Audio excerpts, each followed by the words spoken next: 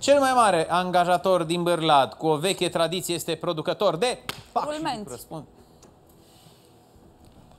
Cum a venit, mă, nici n-am apucat să termin, nici n-am apucat să frazez, nici n-am... Nimic a venit. Rulmenți, răspuns corect, Rodica! Ai câștigat trei ediții!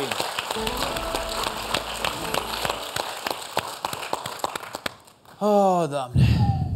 Ia zi, cum îți fu? Nu o să mai calc în harghita în viața mea. Așa, asta e.